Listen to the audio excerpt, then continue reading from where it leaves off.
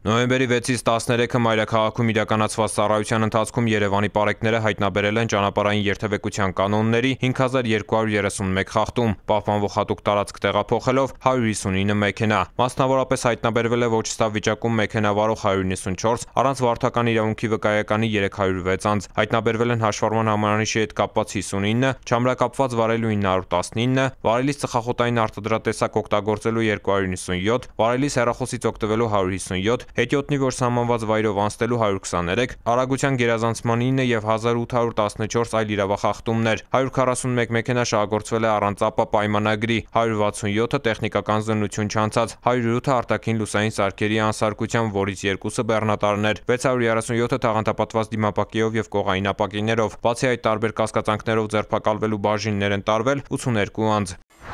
Նույն ժամանակահատվածում մարզերում պարեկները հայտնաբերել են ճանապարհային երթևեկության կանոնների 16105 խախտում, պահպանվող հատուկ տարածքներ տեղափոխելով 321 տրանսպորտային միջոց, հայտնաբերվել է ոչ ստավ վիճակում մեքենա վարող 203, առանց վարորդական իրավունքի վկայականի 879 անձ, հայտնաբերվել են հաշվառման հոմանիշի հետ կապված 89, գերձայնային ազդանշաններով կամ փարոսիկներով երթևեկելու 4, չամրակապված վարելու 2885, վարելիս ծխախոտային արտադրատեսակ օգտագործելու 311, վարելիս հեռախոսից օգտվելու 452, հետիոտնի, որ սահմանված վայրով անցնելու 3, արագության գերազանցման 1172 և 4044 այլ իրավախախտումներ, 572 մեքենա շահագործվել է առանց ԱՊԱ պայմանագրի, 2413-ը տեխնիկական զննություն չանցած, 1690-ը արտաքին լուսային սարքերի անսարքությամբ, որից 90-ը բեռնատարներ, 828-ը տաղանդապատված դիմապակեով և կողային ապակիներով, բացի այդ տարբեր կասկածանքներով ձերբակալվելու բաժիններ են տարվել 69 անձ: